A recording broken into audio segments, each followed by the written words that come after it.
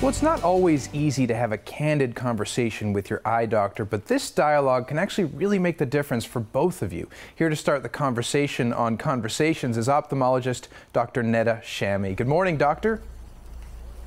Good morning, Alex. It's a pleasure to have you on today. And what we're talking about is very important because it's opening the dialogue, it's opening those lines of communication. So I have a feeling uh, I know what you're going to say, but how important is communication with your doctor?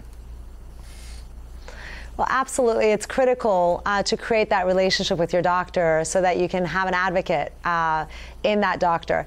Uh, it's not until you have a conversation that the doctor can really be honed in on concerns that you may be having or symptoms that could then be associated with a diagnosis. And then in turn, uh, the doctor can then offer a customized treatment plan to address your concerns. So you need to start that conversation to start that process. Well, certainly, and there was a survey recently conducted about these types of conversations. What did it actually show? Yes, so Restasis Multidose conducted a survey, as you mentioned, asking that exact question of whether or not you share your eye concerns with your eye doctor.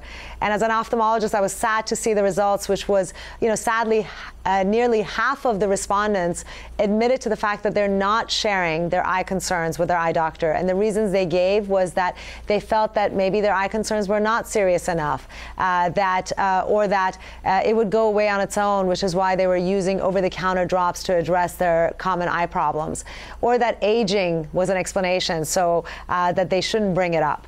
Uh, when in fact, if you know any changes, if you're experiencing changes in your eye, in your vision, in the feeling of your eye, in the sensation that you have, if you're having redness, irritation, sensitivity to light, um, tearing, inability to wear contact lenses, those are all telltale signs of a very common problem that's often underdiagnosed and really is left untreated uh, because patients are not coming to us with those symptoms. And that condition is chronic dry eye disease uh, that is uh, occurs in nearly 30 million Americans, and only a small fraction are getting the treatment to really get to the core of the problem. Yeah, very good point. It's, it's important to normalize it, and of course, it's also important to be prepared. So, what should people really think about? How should they prepare when they go in and see their doctor?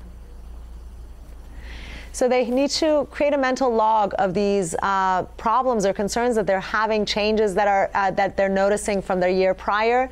Uh, maybe go to online resources to get the right information. An online resource for chronic dry eye disease is restasis.com, and there is a dry eye quiz that you can take that gives you sound bites and bullet points to start that conversation with your eye doctor, and to understand that unless you start that process and you're your own health advocate, you may not be given access to the right treatment, as I mentioned. And for chronic dry eye disease, which is an inflammatory condition where there's inflammation in the eye causing the problems, uh, Restasis multidose is a prescription eye drop. It's the only FDA non-preserved prescription eye drop in a multi-dose bottle that treats the inflammation and in turn helps you make more of your own tears and then stops the disease in, in its progress. So as you can see, the conversation led to the right treatment, and then hopefully the following year, when when you go back to your eye doctor, your your condition or your concerns are either completely resolved or at least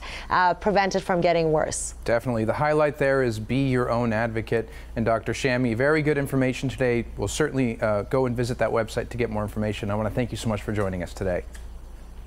Thank you so much, Alex. Definitely. Now stay right where you are. The Morning Blend will be right back.